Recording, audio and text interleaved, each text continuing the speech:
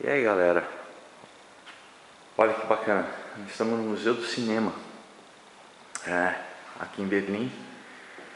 E não sei se vocês sabem, mas o cinema alemão teve e ainda tem uma importância enorme, né?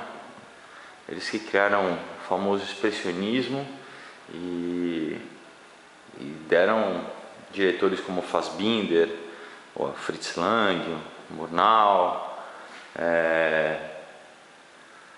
mais recentemente Wim Wenders, né? Enfim, é um é uma cinematografia super importante e um museu aqui bem bacana, viu?